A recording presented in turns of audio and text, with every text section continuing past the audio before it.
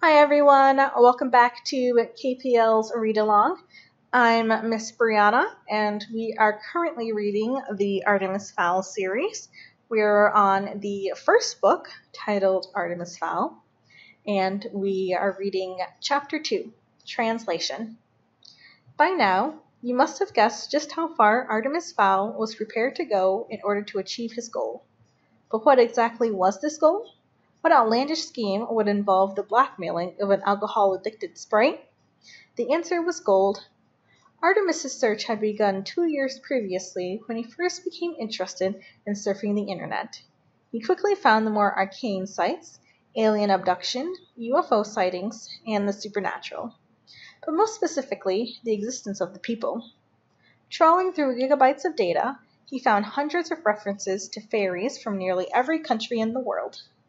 Each civilization had its own term for the people, but they were undoubtedly members of the same hidden family. Several stories mentioned a book carried by each fairy. It was their Bible, containing, as it allegedly did, the history of their race and the commandments that governed their extended lives. Of course, this book was written in Gnommish, the fairy language, and would be of no use to any human. Artemis believed that with today's technology, the book could be translated and with this translation you could begin to exploit a whole new group of creatures. Know thine enemy was Artemis's motto, so he immersed himself in the lore of the people until he had compiled a huge database on their characteristics. But it wasn't enough. So Artemis put out a call on the web. Irish businessman will pay a large amount of US dollars to meet fairy, sprite, leprechaun, pixie.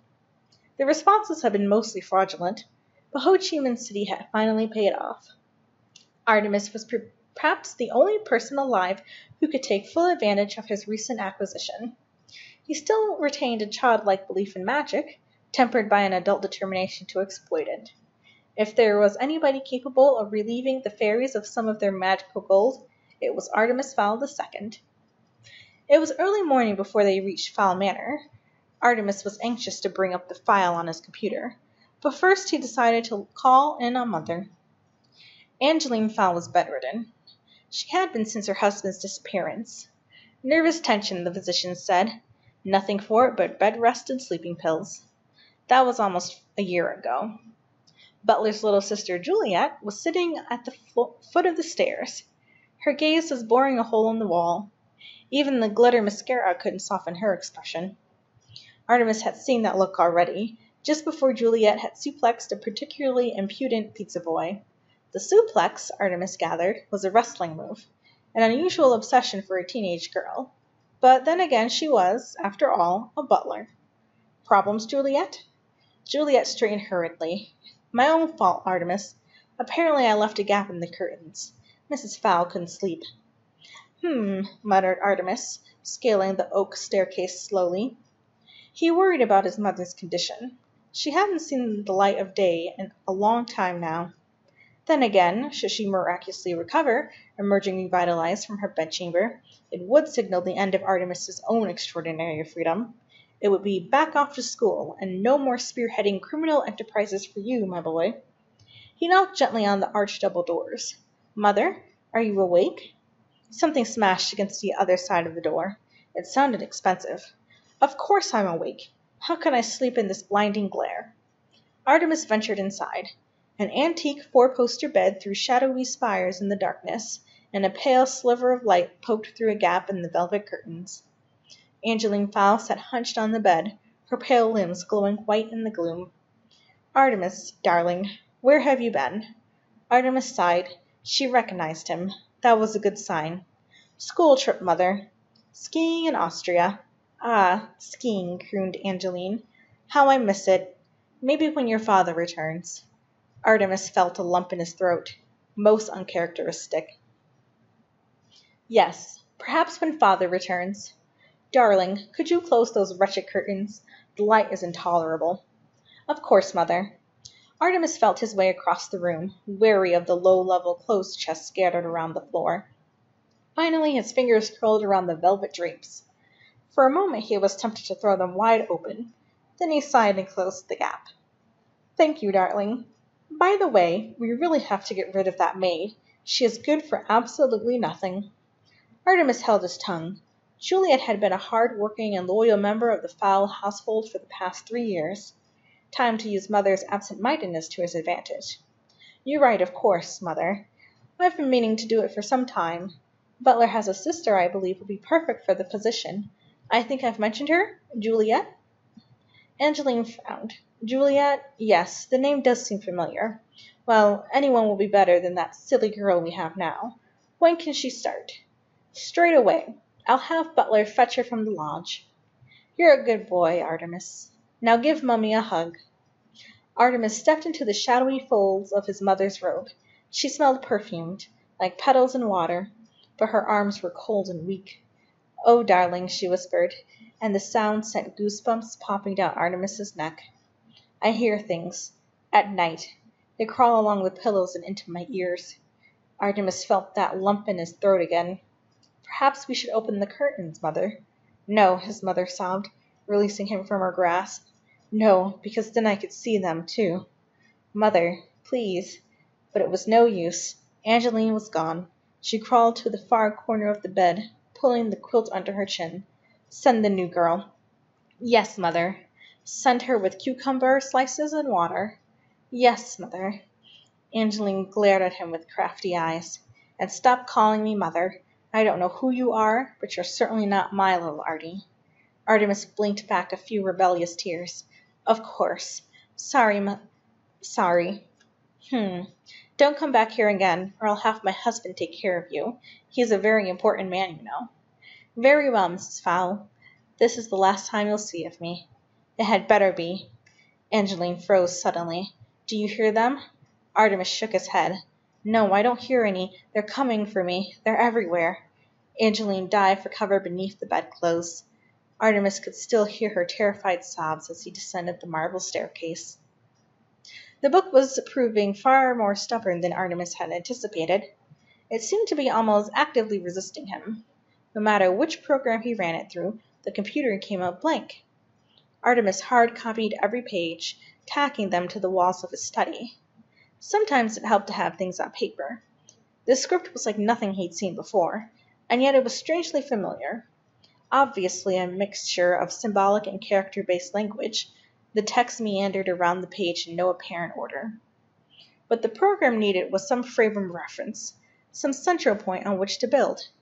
He separated all the characters and ran comparisons with English, Chinese, Greek, Arabic, and with Cyrillic texts, even with Ogham. Nothing.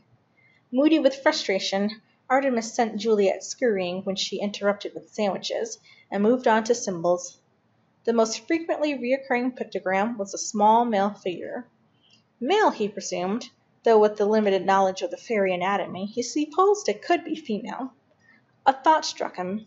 Artemis opened the ancient languages file on his power translator and selected Egyptian. At last, a hit. The male symbol was remarkably similar to the Anubis god representation on Tutankhamen's inner chamber hieroglyphics. This was consistent with his other findings. The first were inhuman stories were about fairies, suggesting that their civilization predated man's own. It would seem that the Egyptians had simply adapted an existing scripture to suit their needs. There were other resemblances, but the characters were just dissimilar enough to slip through the computer's net. This would have to be done manually. Each Gnommish, Gnommish figure had to be enlarged, printed, and then compared with the hieroglyphics. Artemis felt the excitement of success thumping inside his ribcage. Almost every fairy pictogram or letter had an Egyptian counterpart. Most were universal, such as the sun or birds, but some seemed exclusively supernatural and had, be, had to be tailored to fit. The Anubis figure, for example, would make no sense as a dog god, so Artemis altered it to read King of the Fairies. By midnight Artemis had successfully fed his findings into the Macintosh. All he had to do now was press decode. He did so. What emerged was a long, intricate string of meaningless gibberish. A normal child would have abandoned the task long since. The average adult would probably have been reduced to slapping the keyboard. But not Artemis. This book was testing him, and he would not allow it to win. The letters were right, he was certain of it. It was just the order that was wrong. Rubbing the sleep from his eyes, Artemis glared at the pages again. Each segment was bordered by a solid line. This could represent paragraphs or chapters, but they were not meant to be read in the usual left to right, top to bottom fashion. Artemis experimented. He tried the Arabic right to left and the Chinese columns. Nothing worked. Then he noticed that each page had, page had one thing in common a central section. The other pictograms were arranged around this pivotal area. So, a central starting point, perhaps. But where to go from there? Artemis scanned the pages for some other common factor. After several minutes he found it. There was on each page a tiny spearhead in the corner of one section. Could this be an arrow, a direction? Go this way? So the theory would be start in the middle, then follow the arrow. Reading in spirals. The computer program wasn't built to handle something like this, so Artemis had to improvise. With a craft knife and ruler, he dissected the first page of the book and reassembled it in the traditional Western languages order, left to right, parallel rows. Then he rescanned the page and fed it through the modified Egyptian translator. The computer hummed and whirred, converting all the information to binary. Several times it stopped to ask for confirmation of a character or symbol. This happened less and less as the machine learned the new language. Eventually two words flashed on the screen. File converted. Fingers shaking from exhaustion and excitement, Artemis clicked print. A single page scrolled from the laser writer. It was in English now. Yes, there were mistakes, some fine tuning needed, but it was perfectly legible, and, more importantly, perfectly understandable. Fully aware that he was probably the first human in several thousand years to decode the magic words, Artemis switched on his desk light and began to read. The Book of the People. Begin instructions to our magics and life rules. Carry me always, carry me well. I am thy teacher of herb and spell. I am thy link to power arcane. Forget me and thy magic shall wane. Ten times ten commandments there be. They will answer every mystery. Cures, curses, alchemy. These secrets shall be thine through me. But, fairy, remember this above all. I am not for those in mud that crawl, And forever doomed shall be the one Who betrays my secrets one by one. Artemis could hear the blood pumping in his ears. He had them. They would be as ants beneath his feet.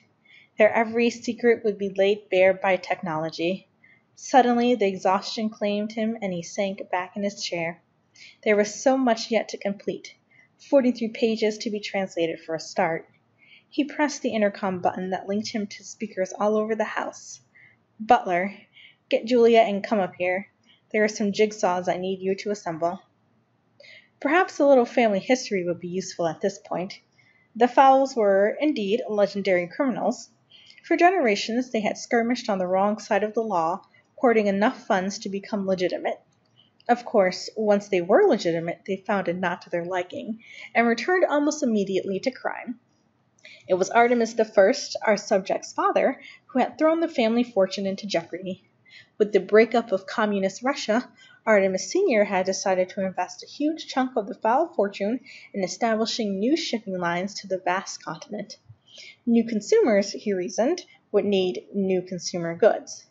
The Russian mafia did not take too kindly to a Westerner muscling in on their market, and so decided to send a little message.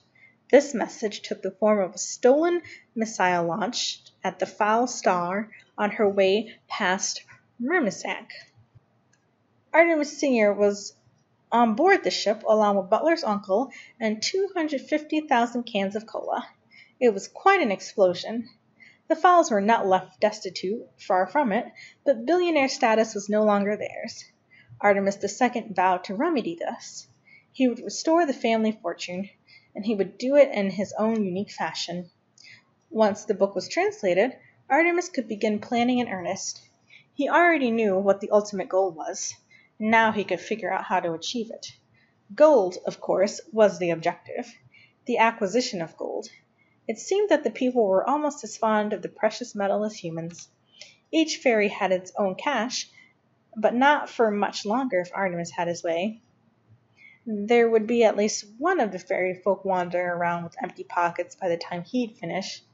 After eighteen solid hours of sleep and a light continental breakfast, Artemis climbed to the study that he had inherited from his father. It was a traditional enough room, dark oak and floor to ceiling shelving, but Artemis had jammed it with the latest computer technology. A series of networked Apple Macs whirled from various corners of the room. One was running CNN's website through a DAT projector, throwing oversized current affairs images against the black against the back wall. Butler was there already, firing up the hard drives. Shut them down, except the book. I need quiet for this. The manservant started. The CNN site had been running for almost a year. Artemis was convinced that news of his father's rescue would come from there. Shutting it down meant that he was finally letting go. All of them? Artemis glanced at the back wall for a moment. Yes, he said finally. All of them. Butler took the liberty of patting his employer gently on the shoulder, just once, before returning to work. Artemis cracked his knuckles. Time to do what he did best plot dastardly acts. And that ends chapter two.